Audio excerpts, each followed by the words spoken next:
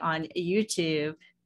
Thanks, John. So anyway, we wanted to welcome everybody to the first edition of our CPF book club. We want this to be a sort of an exciting new place where we can enhance uh, our community and just talk about books with our favorite authors and photographers, historians, and architects.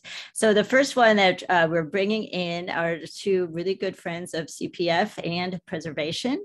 Um, oh, we have some more things to talk about though, John. We want to make sure that everybody, uh, if you have your phone handy, as John mentioned in the um, before we open the room, we're going to be using the phone to participate in a, trivia quiz. We could also use your computer uh, desktop. So we'll get to that uh, in the end. John's posting uh, some stuff in the chat. Uh, this one in particular, we want everyone to feel free to use the chat as much as possible. I saw Nelson in the chat, and as usual, you know, we encourage everybody to uh, post where you're calling in from because we do get people from around the country. We have, I know that one of my friends from Florida is uh, logging in.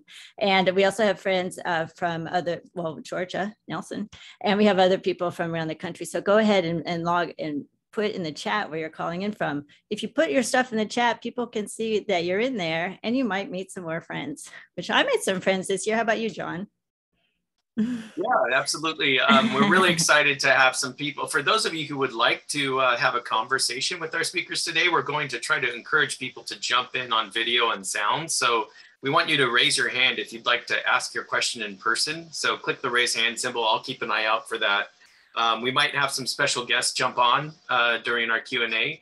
So uh, keep an eye out for that. And as we mentioned the quiz, I typed into the chat box um, the website that you would go to to start the quiz. Again, that quiz won't start until uh, after our speakers present. And the website you will visit is pigeonhole.at. And then you would type in preserving to be involved in the quiz. Make sure you type in your name if you want to show up on the leaderboard. Yeah, because someone's going to win the eternal gratitude of CPF. And right. speaking of gratitude, we want to thank the, the donors to this program. It helps us uh, bring these programs to everybody for free. Uh, what, who were the names, John? Do you recall now? We had a couple. We had William was donating, and also uh, I can't remember the last name. Anyway, thank you very much for donating, everybody. Oh, we had a special thank you to um, let me see. Oh, I can't remember, John. Anyway, uh, please do consider donating to consider continue these programs. And one more last quick announcement. Uh, we have Alan Hess coming up on August 31st. And then after that, uh, we have Allison Rose Jefferson. And we'll be talking about uh, sites in Los Angeles uh, from the diverse communities that we are working it to preserve. And she will be sometime in November. So we do plan to continue this book club uh, into the rest of this year. All right, so we'd like to welcome our speakers for today, an author and a photographer. Everyone is familiar, I hope, with Ken Bernstein and Stephen Schafer. Come on in. Hey, Ken, how are you? We, you're still muted, Hi, Chris. Ken. Hi, Chris yeah. and John. Great to see you both.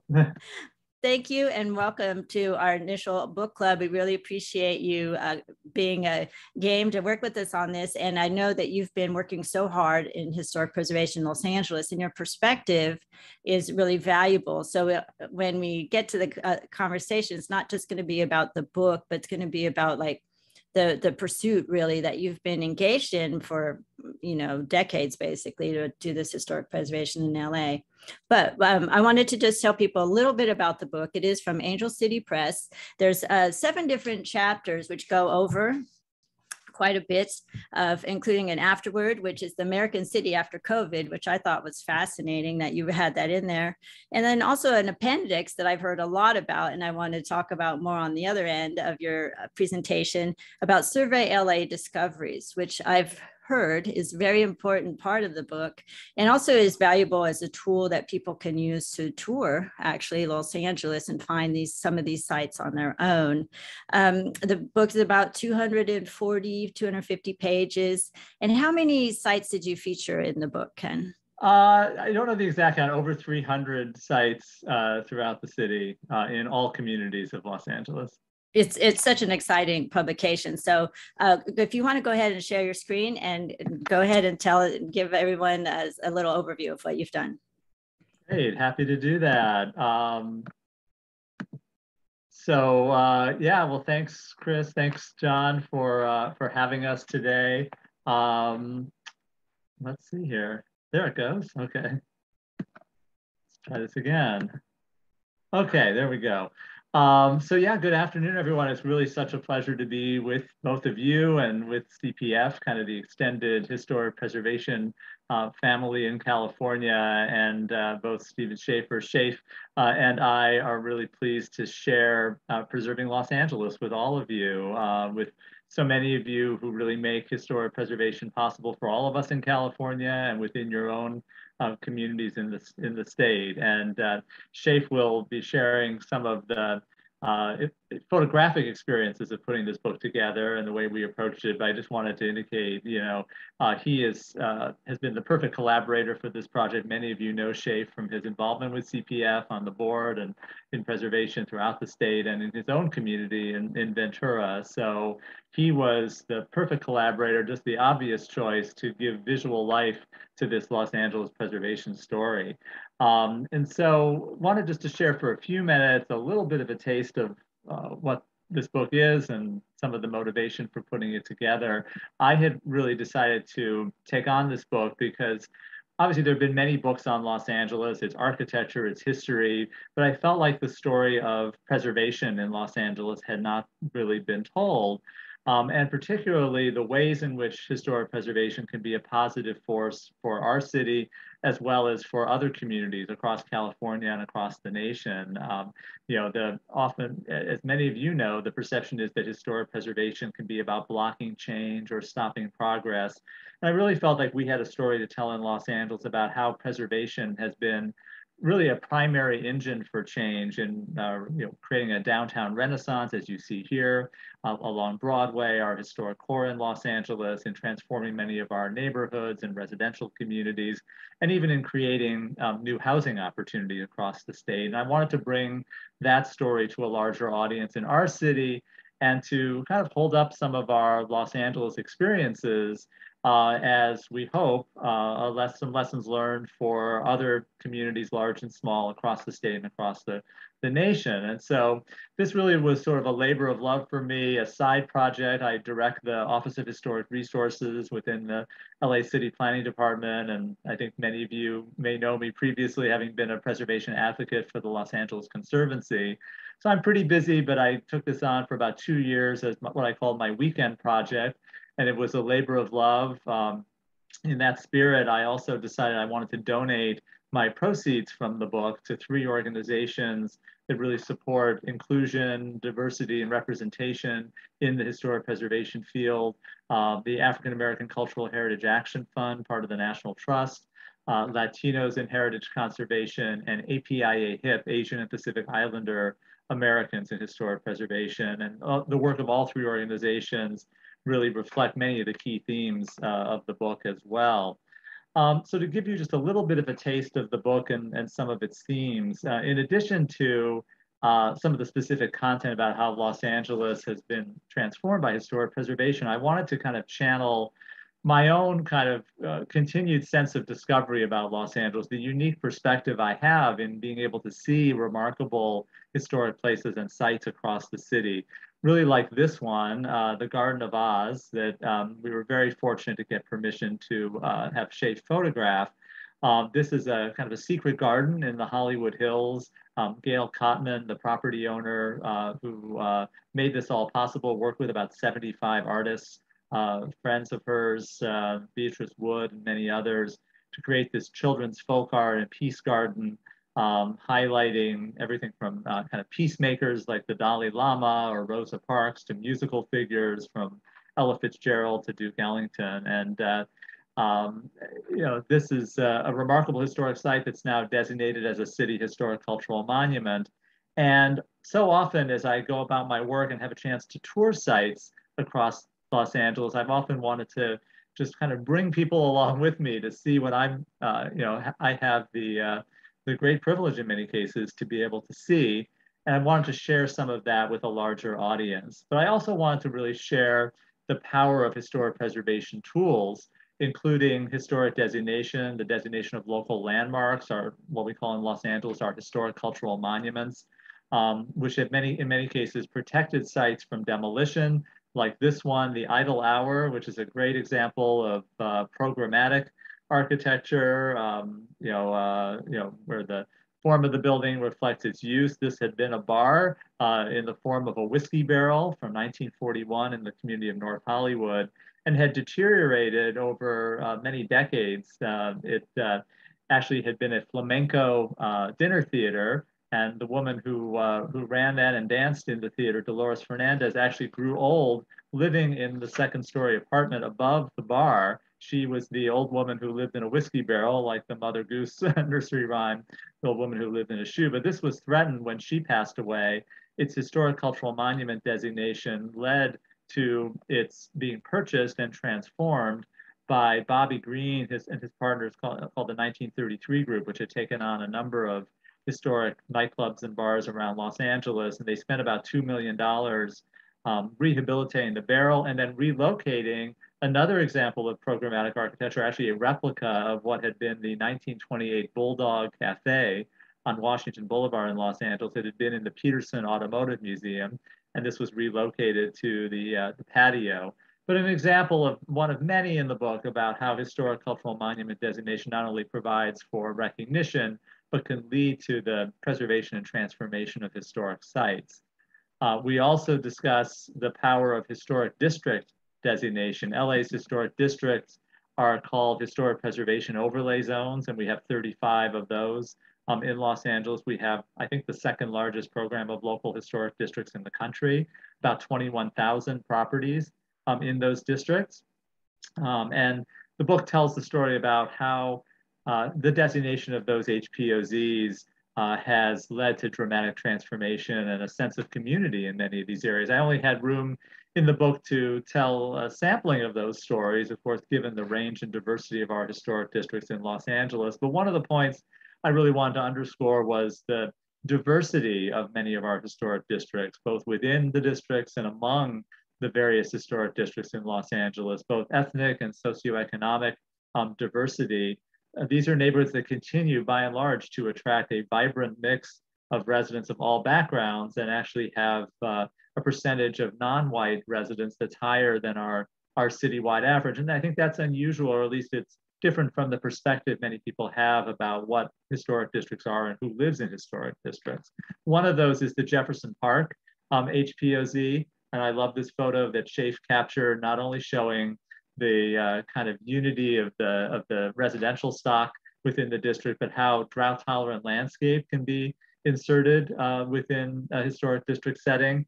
Um, and the HPOZ in Jefferson Park has really helped help knit together and create a sense of community um, within a, uh, a very diverse uh, neighborhood.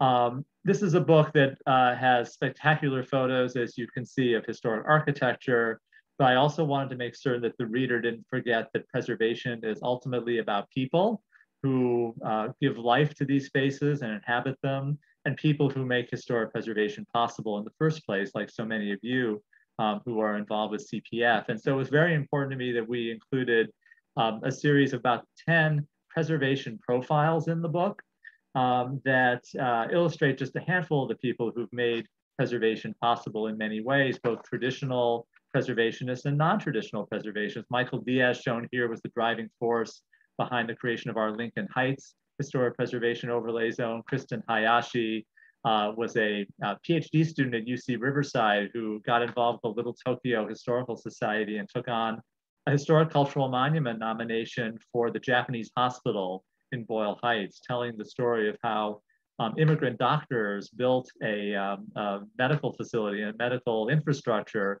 for communities that were being discriminated against in terms of healthcare, medical care during those decades. And so um, wanting to give life to those stories and allow these individuals to tell their story in their own words uh, through the book was that was very important. Um, I think we all know in historic preservation we have a lot of work to do in many other ways, particularly in moving toward greater uh, inclusion and representation. That's certainly true in Los Angeles. I don't want to paint a completely rosy picture of preservation. We still only have about 6% of our city historic cultural monuments that reflect the heritage of communities of color um, in Los Angeles. we have taken a number of steps to create preservation frameworks, uh, what many of you in the field know as historic context statements to um, lay the groundwork for uh, enhancing that representation in the field. And the book shares some of that work in, in, some considerable detail and through illustrations of some of the contexts that we've created that reflect the diverse history of Los Angeles communities, like our African American context addressing themes including racial covenants, the history of the Black church, and the civil rights movement in LA.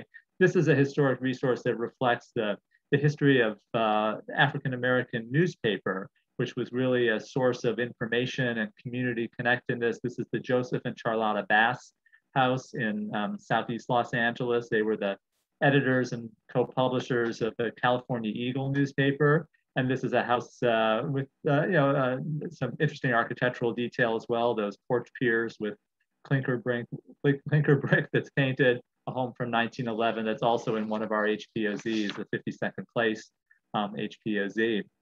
We also highlighted the Latino Los Angeles context, the influence of Latinos in the, the visual arts uh, and the mural muralist movement in Los Angeles.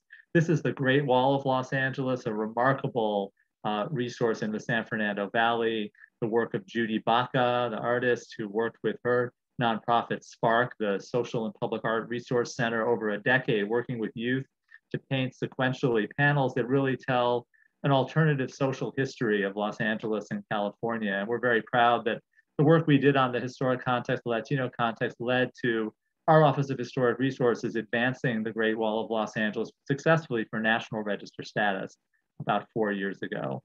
And we wanted to tell the uh, LA adaptive reuse story, the work of uh, our adaptive reuse ordinance adopted a little over 20 years ago that cleared away some of the impediments to converting historic buildings to housing it resulted in more than 9,000 new housing units in LA in about the first decade that that ordinance was in effect.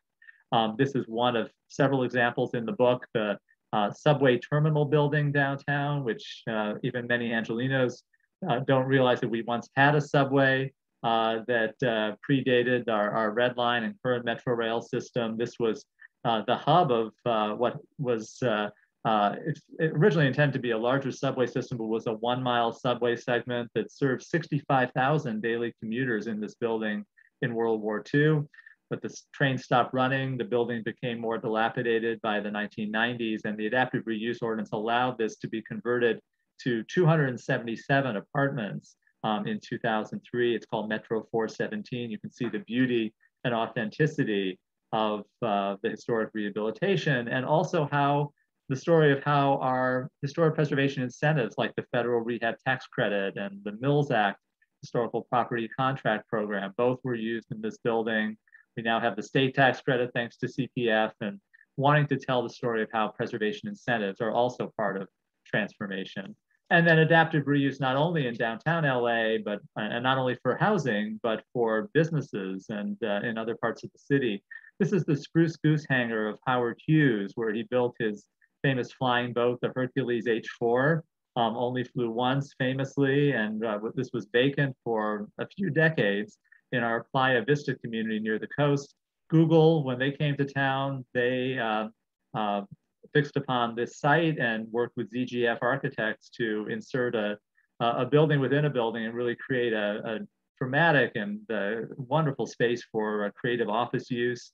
Uh, and it's now the anchor of what's often called Silicon Beach in Los Angeles. And just to close and then turn it over to Shafe, a large part of the book uh, features uh, some of what I call Survey LA discoveries, which uh, captures the work of our citywide historic resources survey, a partnership between the, uh, the city and the J. Paul Getty Trust over about a decade to conduct our first ever comprehensive survey of historic resources so that we would know what and where our historic places are in the city. And the book really features um, interesting finds and discoveries from all 35 of our community plan areas across Los Angeles and to, to tell the story that every community, no matter its characteristics, have remark, has remarkable um, historic resources, architectural uh, resources that are dramatic and captured by Shafe in the book, but also more modest sites that have social and cultural significance. And we want to capture a cross section of all of those. So with that, I'm happy to um, hand it over to Shafe to uh,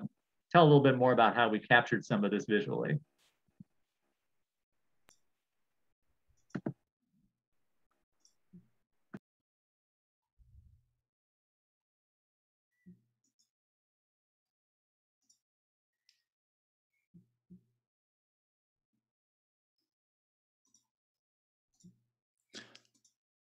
All right.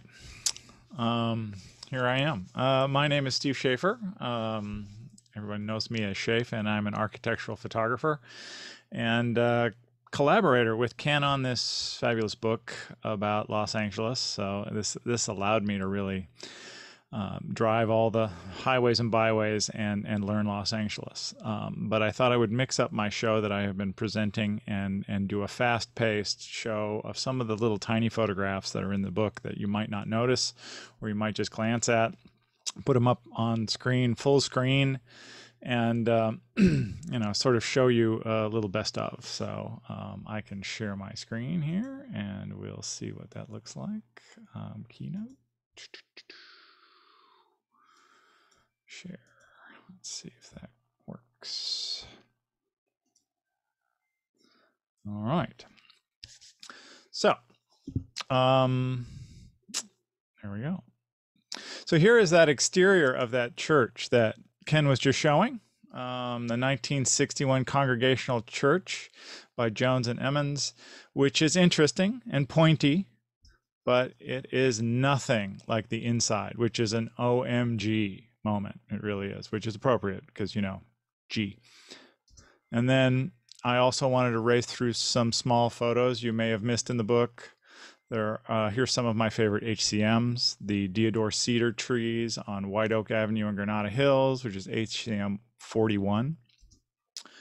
Um, Franklin Avenue Bridge in Los Feliz, also known as the Shakespeare Bridge, which is HCM 126. The giant binoculars in Venice, HCM 656 and HCM 598, uh, the 1935 Gilmore gas station adaptive reuse in Hollywood, which is actually in the adaptive reuse chapter and not in the HCM chapter, but there's a lot of crossover like that. And then here's a picture that didn't make it into the book, um, but is still mentioned in the text. Uh, I like it because the sky reflects in the shiny brass letters, and you can't tell that the pedestrians are all wearing masks.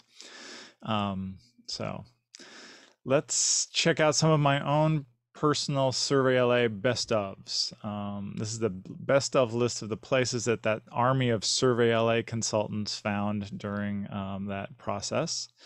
And uh, we can start with the tallest photos uh, the 1929 Bendix building downtown. And on the right, the 1931 Vision Theater in Leimert Park. Leimert Park, and in the middle, the 1960 Valley Federal Bank Tower in North Hollywood, which, if you shoot it on summer solstice like this, the north facade is actually lit for just a moment uh, right around sunset. So that's about as lit as that building ever gets. And then the flattest photo, the 1926 Bothwell Ranch in Tarzana. It's one of the last remaining orchards in the valley. The wettest photo, the 1970 second Los Angeles Aqueduct in Sylmar. The tikiest photo, I think, the 1964 Tahitian village in Reseda. It's all lava rock and palms. It's like the ultimate apartment building. The most neonist, um, the Casa de Cadillac showroom in Sherman Oaks from 1949. Classic. And then how about the best upside down arch and circular leaded glass? in the 1964 Congregational Church of Chatsworth. I would I haven't been inside that, but I really would love to see those windows. How about putting the eclectic in Spanish eclectic? This is the 1926 to about 1929 Brunswick Avenue Fantasy Bungalows in Atwater Village. Uh, they may not all be Spanish, but they are definitely all eclectic. Uh, some crazy windows. How about Mr. Showmanship's house, the Liberace house, 1953, with the piano shaped swimming pool in Encino? Didn't get to see the pool. The Flying Nunniest. Look at that roof line on the 1963 Longshoremen's Union Training Center in Wilmington.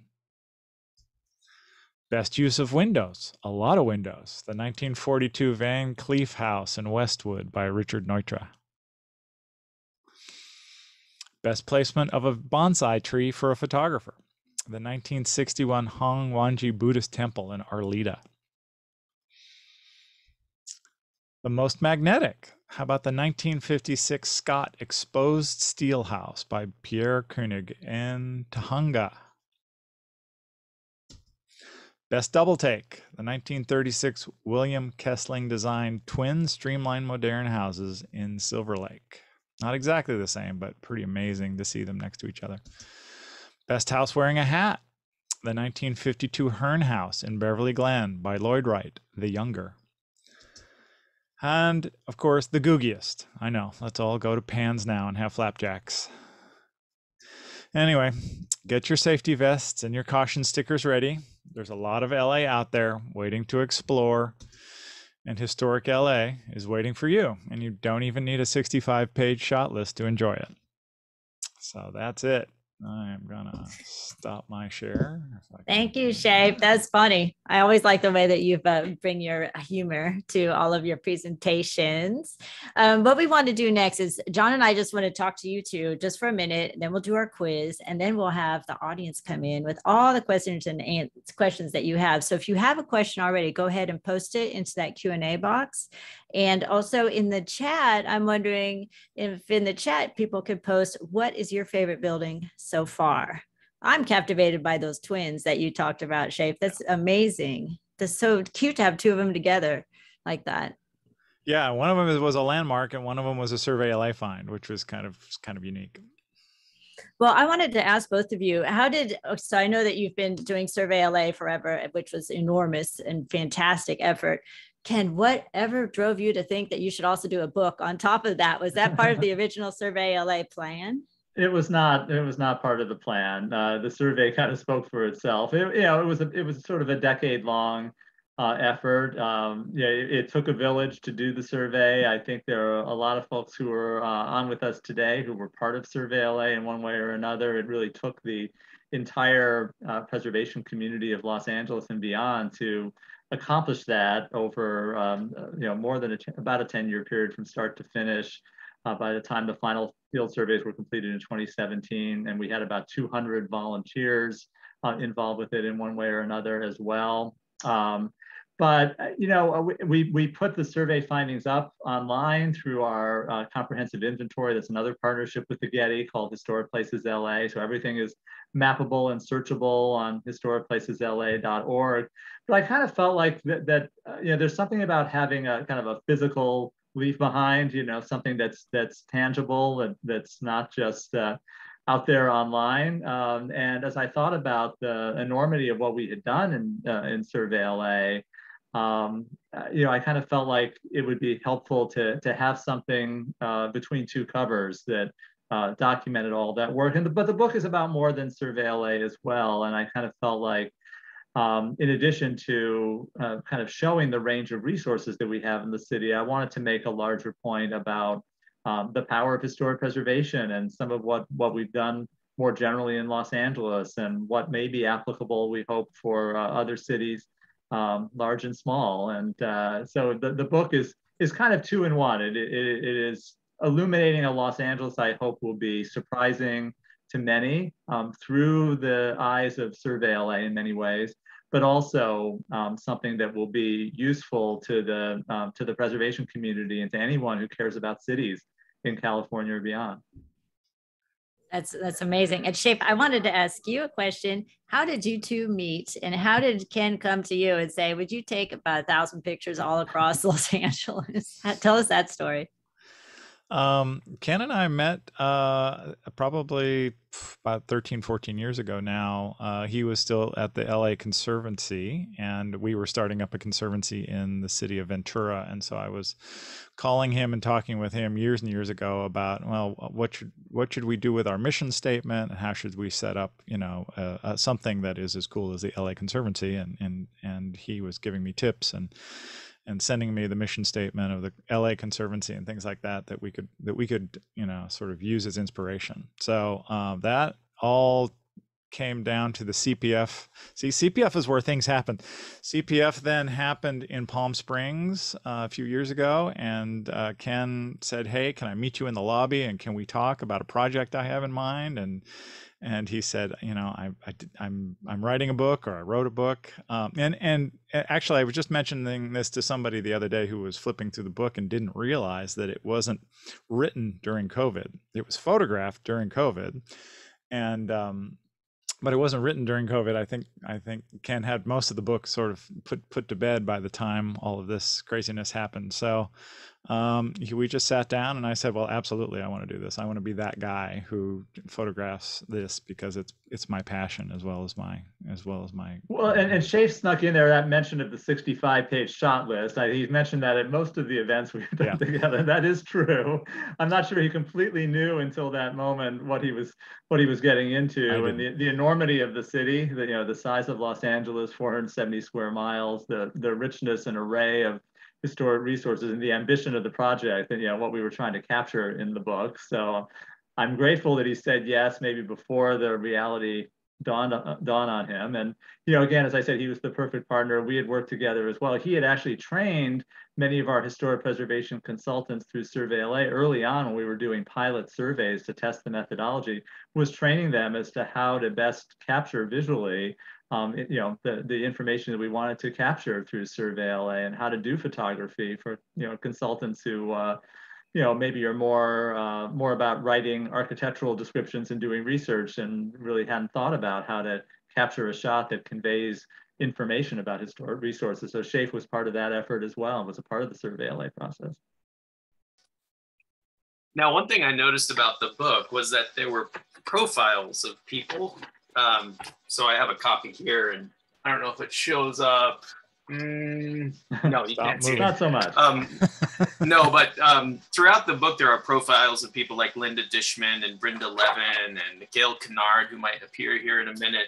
But um, what I'm wondering, what what your thought process was behind choosing these people. Why uh, it, it's a broad mix of preservation type people uh, from all types of disciplines, and how did you go about uh, selecting these people? Well, it was hard. Like like every aspect of this book, you had had to make some really difficult choices, and I think there's there's about ten preservation profiles, and obviously. The, the preservation village that I refer to is, is much larger than that. So this this these are people who are really kind of representing kind of larger, um, you know, larger kind of uh, uh, trends or um, uh, you know roles that people play in historic preservation. I wanted to capture as well that preservation may, is made to happen not only by traditional preservationists, and yes, we have Linda Dishman as CEO of the LA Conservancy, Brenda Levin, legendary historic preservation architect and, and uh, you know, architect in many other um, new projects as well in Los Angeles. But I wanted to also have non-traditional preservationists reflected, people who maybe don't even call themselves preservationists, but what they're doing uh, has resulted in tremendous preservation outcomes. And so um, I showed, uh, as, you know, as an example, Kristen Hayashi of Little Tokyo Historical Society. She's someone who had a history background, but had never been involved in organized preservation advocacy. Um, Bobby Green, who I mentioned briefly with the Idle Hour, he's a preservation profile uh, as well. Uh, he's a business owner, and um, uh, you know, uh, I don't know that he's necessarily someone who um, thinks of himself as a preservation advocate, but what he's done in transforming the Idle Hour, the Highland Park Bowl, and another one of our um, HPOZs, uh, the Formosa Cafe, uh, legendary site in West Hollywood.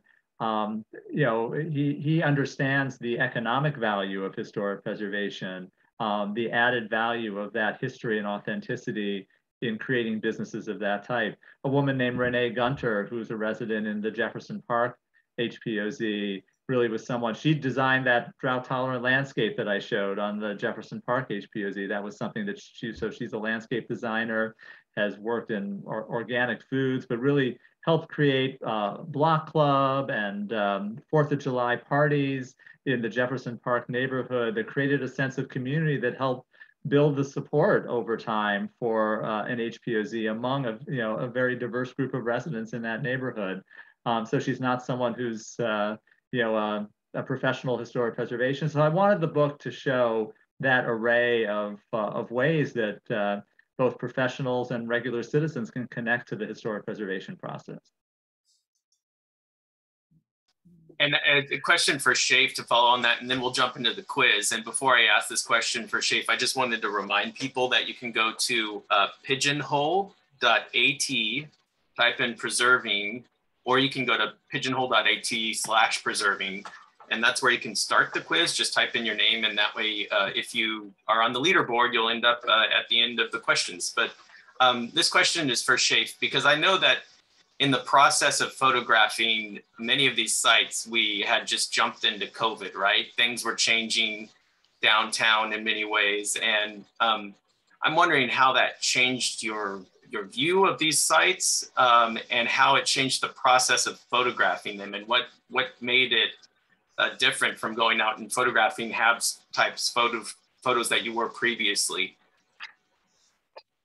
Well, um, the the short answer is that I got from one place to another really fast because there was nobody on the freeway. Um, but uh, the long answer is after starting, you know, some of the some of the districts and some of the community areas uh, like Arvanza, where you know, or Highland Park, where there's where there's people on the streets, you start to realize that all those people on the streets have masks on. So that might not be, you know, you know, it's like if we're, if we're trying to make a document and a book that's about this point in time, that might be appropriate, but that wasn't necessarily necessarily what I was after. And there's so many photographs in the book without people that it just seemed the consistency uh, of not having masks and and and just having a having a, a very documentary style um, came into play. And so that that was sort of how I approached it. Uh, you know let's let's not make it about the people uh, in my case. Let's make it about the buildings the structures the sites. Um, and you know there's just the diversity of the sites. Um, and and most people didn't want to talk to me. So there was there was that too. So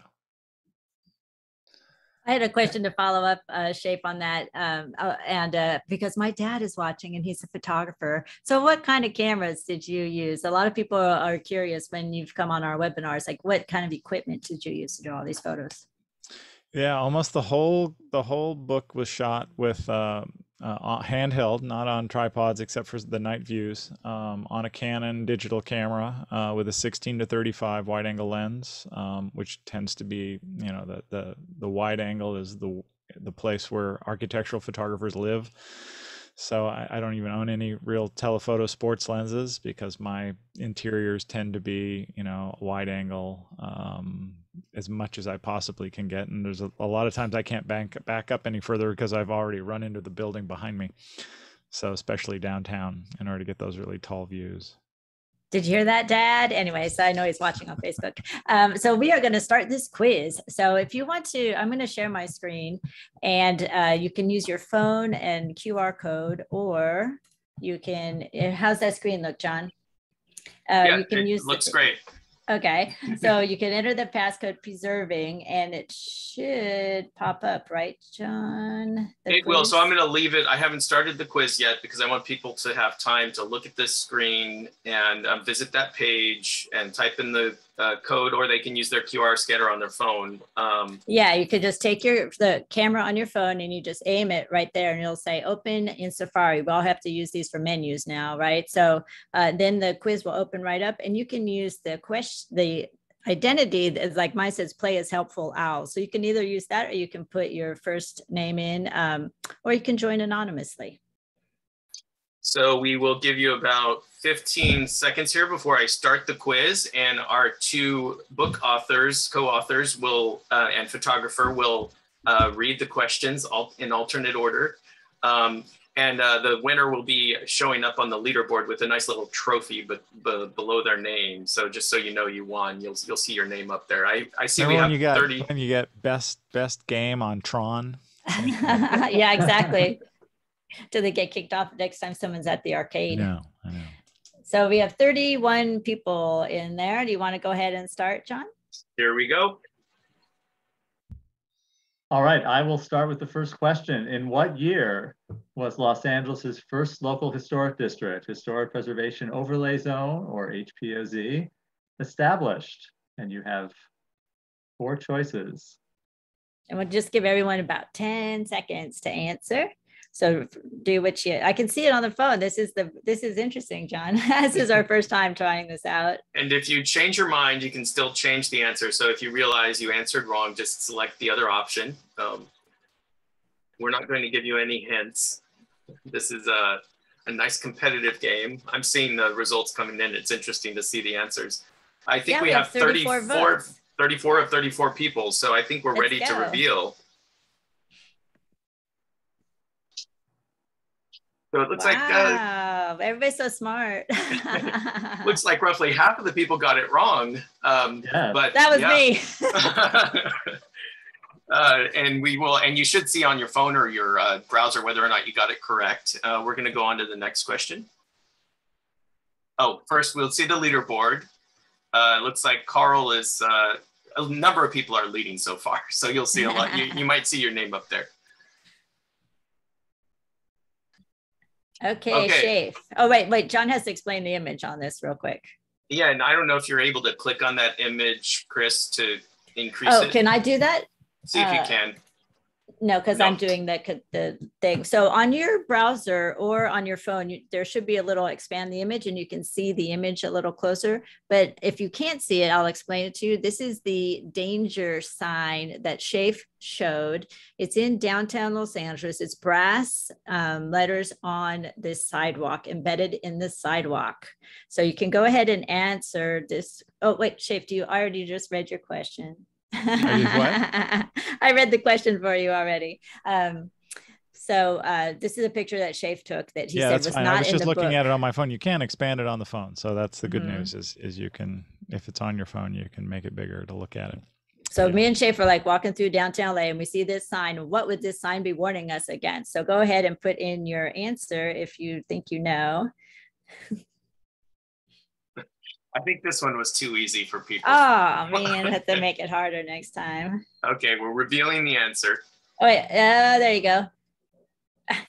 Yeah, maybe Ken can give the background. Um, yeah, Ken, do that you have the story? Yeah, so this was uh, adjacent to the Pacific Electric building. So I showed the example of the subway terminal building, which was the terminus for the original one mile subway system. But the Pacific Electric building, which was really LA's first skyscraper in the first years of the 20th century, that was the uh, terminus of the Pacific Electric uh, streetcar system, Henry Huntington and his system that really led to the expansion and development of much of Los Angeles. And so that was at a, uh, a point in the sidewalk where the streetcars were turning in to come underneath uh, the building originally and a danger sign to warn warn pedestrians to watch out.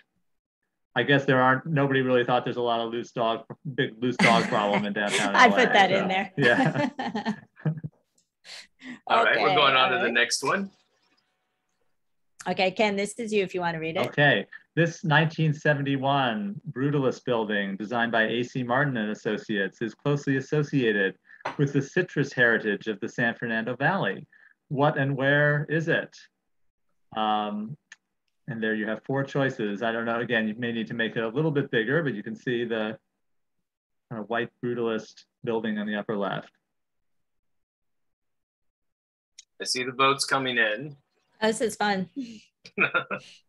I think our audience is mo- way more sophisticated, John. We have to have to make these We, harder. we next should have time. made this harder for people. Yeah, this is how you learn.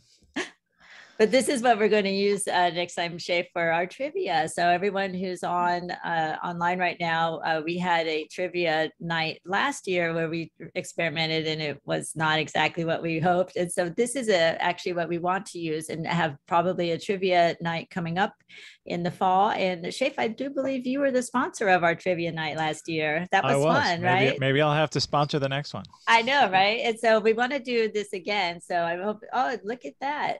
A lot of people knew this one. So what is the story of the Sunkist building in Sherman Oaks? Well, it's it was the uh, the the headquarters for Sun, Sunkist uh, Citrus, and of course the San Fernando Valley itself uh, was uh, orange groves, in uh, you know for much of the the 20th century. So it was somewhat natural that uh, Sunkist located. This is a building that's right off the the one and visible from the 101 freeway if you're coming um, into the heart of Los Angeles across the San Fernando Valley. So uh, Sunkist has uh, moved out. Uh, this is a building that is being uh, a site that's being redeveloped, but in, in great part thanks to uh, its identification in Survey LA, um, the 1971 structure is being spared, and they're building new housing around it on the uh, what had been the Sunkist parking lot. And Ken, didn't AC Martin and Associates also do the building downtown, the water building? Which building is Department it? of? Water and Power, among Mhm. ma- among many other very significant they, they, the, the firm had a, a, role in LA City Hall, 1928, but Department of Water and Power, um, um, more of a modernist uh, landmark of uh, civic landmark of Los Angeles, and AC Martin's a very significant um, LA firm. Oh, great. All right, Thoughtful Sparrow is really leading the, the pack here. All right, says Shafe, you are next.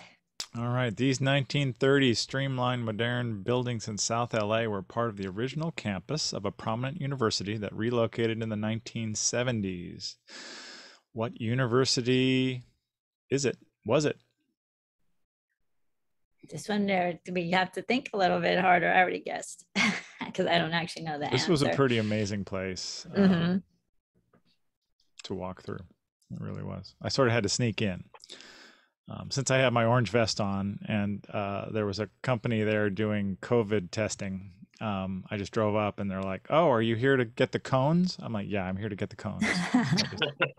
Kept going because it's a closed campus now. So it's no, that's great. I've heard some school. other stories from you about this where you would have to kind of sneak in, and uh, but I, that, I didn't say that on the record. yeah, off the record. All right, we got 31 votes. Do you We're want to go giving ahead? you three, four seconds more before I'm going to close this. Here we go. All right. Pepperdine, excellent. I actually had to guess that. I didn't know the answer. All right, Steve, you pulled away to the front. Do we have one more, John, or is that it? We have one more. Okay.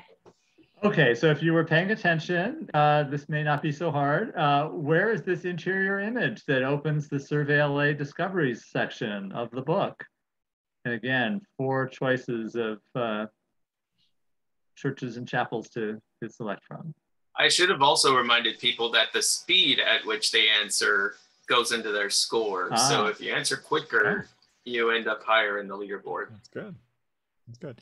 And they can change their answers. Yes. So that probably slows them down again. I, yeah, this could work really well for trivia night. Yeah, fun. I think it'd be really fun. We're thinking, especially as we roll into the fall programming, which uh, if you are not on our mailing list, you please get on our mailing list. We've been sending out some emails lately.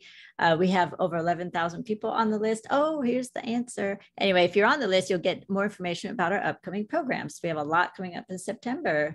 So the congregational church churches seem to be popular with both of you, uh, Shafe and Ken. It must be really amazing in person.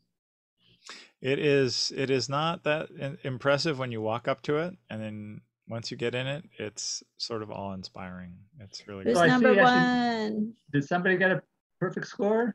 Carl. No, four- it looks like four, four out of five. Though all four, all six of these got four out of five, but Carl mm-hmm. was under a minute. All right, Carl, you win the eternal gratitude of the CPF team and the author and photographer of this book. Thank you for participating. I'm going to stop sharing my screen now and we can go into some Q&A from the audience. If anyone has any questions, now is your moment. Oh, I see a couple in the box. Do you want to go ahead and start, John?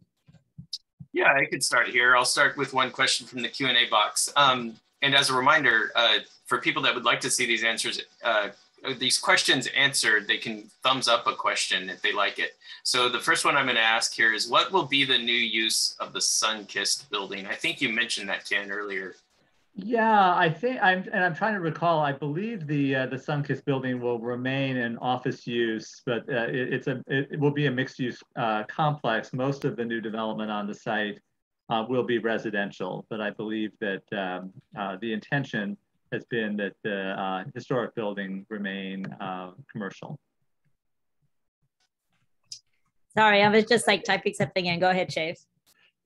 No, no, I, I, it's an impressive, it's an impressive building. I've just been driving by it because it's on my way to LA from Ventura, which is one of those things. You know, it's like I've been driving by it for so long, and it always had that Sunkist logo, and now it's got some other, you know, corporate logo on it. Um, you know, so I sort of missed the logo, if that's possible. kind of funny what you get attached to. We're- Um, I'm going to let John try to get one of our, our audience, our participants, get her camera live so she can come on and ask a question. And in the meantime, I saw that somebody posted in the Q and A that you couldn't get the quiz to work. We're going to keep using that feature. And so definitely uh, tune in next time. And we will be, and you can try again. Uh, it took me a couple times. Hey, there she is. I wanted to introduce a special guest, Gail Kennard, and she is featured in your preservation profiles, and she is working with a firm. Her father is a famous, I would say, famous modernist architect in Los Angeles. Gail, thank you for joining us. It's such an honor to meet you in person, well, in person. Thank you, thank you, and congratulations to uh, Ken and and and Shay. This is amazing work. So I have a question for both of you. So think ahead to 25 years from now, say maybe 20 years from now, and if you were to redo this book again, what would you like to see? What would you like to have as as part of the template of Los Angeles that would be worth preserving? Wow, great question, Gail. This is why uh, Gail is one of the preservation profiles in the book, and uh, and Gail is uh, uh vice president of our Cultural Heritage Commission uh, as well in Los Angeles. Um, you know, it, it's a it's a an excellent question. I I would hope that uh, through the book, through you know through the work that we've done in Los Angeles and some of the awareness we're building through the book, that we will have um, you know, a set of historic resources that even more fully reflect all of the diverse stories of all communities um, in Los Angeles. Um, so I believe, you know, and I'm proud that we've begun to to capture that. And again, you know, there's a chapter in the book that really highlights that in particular with some of the historic context work that we've done and many of the Survey LA discoveries reflect those stories.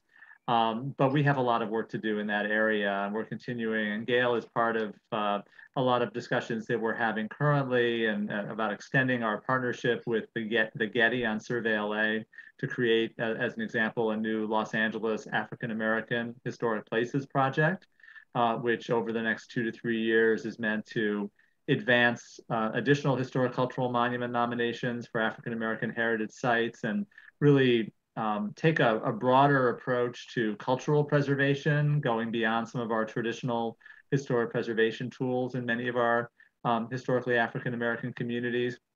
We hope that that work will be a, a template for expanding that type of, um, uh, you know, thinking really advancing the field, uh, working with many of our communities in Los Angeles. I, I guess I would hope that in the next 20 or 25 years, uh, that work really will have borne fruit and that uh, we will have um, really uh, become aware of uh, resources that perhaps we're not even aware of now and uh, um, employed some you know, more creative approaches for really recognizing, protecting, and celebrating some of that heritage. Time also marches on uh, in preservation and you know, Survey LA was, I think, forward-looking in its time. It started in 2006, and we we kind of used 1980 as the cutoff for uh, historic resources. So we, we, we surveyed buildings that were constructed before 1980, but now we're sitting here 15 years later, and I think we, we need to take stock of the architecture and the history of the 1980s and 1990s and then uh, in later periods. So, you know, the, the sequel 25 years from now would also have to really grapple with that time period, which was not only a, a, fruitful time for architecture, whether you like those architectural styles or not, but a period of great social change and uh, mm. immigration and demographic change in Los Angeles. Um, and uh, taking stock of that history would be, uh, I think, what we'd also have to look at in that next time period.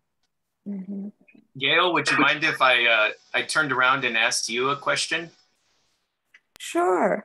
um, I was reading your profile and I love the story that you tell about the little boy who asks uh, his father, who's telling him a bad bedtime story, um, how come the lion never wins? And then the father responds, the lion will win when he gets to tell his own stories. So I'm wondering what your thoughts are on how, how can uh, people who are interested in these historic places best tell the stories of them? What is, in your experience, how, how, how can we communicate the importance of these places? Well, that, that's a really great question because historically, um, the preservation world has really been focused on the architectural, the, the outward looks of buildings, the, design, all those elements, which are critically important. I'm the last one to say that architecture is not important. But we tell the stories so that people understand the narrative of who we are and how we came to be. And we've not always that. So if we can capture the social history through buildings and places and even landscapes, then the folks that are coming along now and after us will know that Long Los Angeles was an amazing place and it was created by a group of people from many, many different parts of the world who brought amazing um, talents and skills to us. So the stories important. So preservation has a role in telling those stories, aside from just the built environment. Thank you so much for your time today. And I really appreciate your question for Ken. That was a great question. Um, so what we're going to do is close out with one final question from the Q&A box. Thank you, Gail. We're going to stop your video just okay. so you. Bye, everyone. Bye, Bye, Gail. Thank you. Um, and the final question from the Q&A box, I'm sure our speakers may see it. Um, it's about the Mills Act program. Um, so the attendee is asking, uh, they were saying that the Mills Act program was canceled this year in LA. I, I wasn't aware of that, but um, they also heard it's being canceled next year. And how does uh, how do you think the Mills Act programs like the Mills Act can contribute to preservation? Yeah, I mean the Mills Act is our most important uh, local incentive for historic preservation. You know, we talk about it in the book and highlight projects that have been made possible in great part uh, due to the Mills Act. We have put a, a temporary. We, the Mills Act program is still very active. We have uh, almost a thousand properties uh, under contract in Los Angeles under the Mills Act program. We're actively working with those owners. Uh, we did put a pause this year on new applications uh, to the Mills Act due to some fiscal considerations. And really, in part, also, we wanted to do a comprehensive assessment of our Mills Act program after 25 years of running this program to make the program more sustainable uh, financially in terms of staffing and to really look at the equity considerations around the program, who is benefiting, how to make the program meet some of our city's um, equity goals. And so we're wrapping up that uh, comprehensive program assessment currently. Um, we haven't made any um, decisions yet about the startup of taking in applications next year, uh, but we hope to share with the public and have a very robust community engagement process around some of the recommendations and a, and a report that uh, is being finalized now with an assessment and, we, and something we can share with CPF and more broadly as well um, as to how to make the Mills Act program uh, more effective and meet some of our preservation goals. Thank you, Ken. Um, it is 1258, so we do have time for one more question if anybody has any. But while we're doing that, I'm going to paste into the chat box a option for feedback about today's program. We'd like to hear your thoughts. And maybe you can let us know in the chat box a question that came up earlier today among us at CPF was whether we should hold these book clubs uh, in the evening or in the afternoon around lunchtime. And we're going to be doing a lot more of these. We have two coming up that are definitely happening, but we want to continue it for uh, quite a while. So if you think it's better to hold it in the evening, just let us know in the chat box. Or if you think it's better during lunchtime, just let us know in the chat box and we'll make note of that so that we can schedule these appropriately for everyone. Um, I just well, put there was into, sort of a yeah. John. There was sort of a question in the chat box about your background, uh, which you chose, which I happen to photograph, so I'm sort of partial to it. Uh, which is oh, the Clark Library, which was an ARG project, um, and uh, I guess uh, it was a pretty amazing, not only seismic retro- retrofit, but um, insertion of an elevator shaft and underground access and uh, a lot of conservation work by them. Um, and uh, I went out and photographed that, and it does make a pretty handsome background, like you're sitting in a library with um, with kinetic shoulder pads on. I know, yeah. Well, thanks for for uh, pointing that out, Shafe. And I did I put the information in the chat window. It was a Preservation Design Award winner for rehabilitation. So um, I think we had one question just asking about community planning, and I think that pertains to the chapter also that you had what I was interested in is what's it like in downtown Los Angeles right now? Because you know, I was I was born in downtown LA in the '60s. I went, went there a lot over the years, and it would come back, and then it would fall, and it would come back, and then it would fall. It was just coming back so strong in 2019 with restaurants opening and places opening, and had a lot of vibrant activity. And then everything has changed. So, what is it like right now, uh, Ken, for people who are not in California? Yeah, I know it's a great question. And uh, yeah, I mean, the, the book really does tell the story of downtown's renaissance as a result of uh, adaptive reuse, which created the residential base for so many other things to happen, including restaurants and nightlife. um, obviously a lot of that coming together, uh, you know, uh, gathering has um, has has been undercut uh, by COVID, and uh, a lot of the uh, larger uses, you know, many of the cultural centers and theaters have not been um, or just now starting to be active again. So I think downtown is is just kind of coming out of this um, you know this difficult period, and I'm I'm ultimately optimistic uh, about downtown, and we continue to see a lot of development activity of new housing. You know, the adaptive reuse really created that residential base that has now made downtown a very attractive site for uh, new residential activity. And I think as we come out of this period, um, what I, one of the things I said in that COVID afterward is that people are going to want to gravitate to historic places uh, as we're coming out of this time period. It's historic places that give us that sense of continuity and connectedness of past, present, and future. Um, and they're more valued than ever. And it really, downtown has some of our highest concentration of places that, that people value and want to reconnect to. So I think that will serve downtown very well coming out of this period. That's great. Um, thanks, Ken. I wanted to share my screen. Can you see this okay, John? Yes, we can. Great. So I wanted to, we're going to close out in just a second, but I wanted to also remind everyone that we're having another one of these discussions on August 31st with Alan Hess talking about his five books on Frank Lloyd Wright. Uh, we'll be posting on our, our website uh, all five of those books at places where you can get that. They're all from Rizzoli. And I think uh, Alan had recommended in particular to read the one about natural design if you have specific questions. So that's going to be coming up. And then, as I mentioned before, uh, we're going to be welcoming Allison Rose Jefferson, and she's going to be talking about living the California dream, African American leisure sites during the Jim Crow era sorry about that. Everything just jumped ahead. Um, that'll be sometime in November. We'd like you to, we'd like to thank our annual sponsors. And we want to finish off with just a request. If you feel like donating to CPF, we would really appreciate it. It's donors like you who have really helped us keep all these programs free. And I wanted to thank uh, again, in particular, Nelson and Richard Antonio uh, Sim, Gail, and Alan for contributing to our program today. And Ken and Shafe, we are so grateful for your time and your expertise. This has been so much fun. I definitely want to do it again. It was fun. No, thanks so much, Chris and John. This is great. John, did you want to go ahead and close it out? I'm closing out, so all I'll say is if you want to leave feedback about today's program, go to californiapreservation.org slash E, and I'm going to stop our video and close this out. So we'll see you at the next one. Thanks, everyone. See you soon.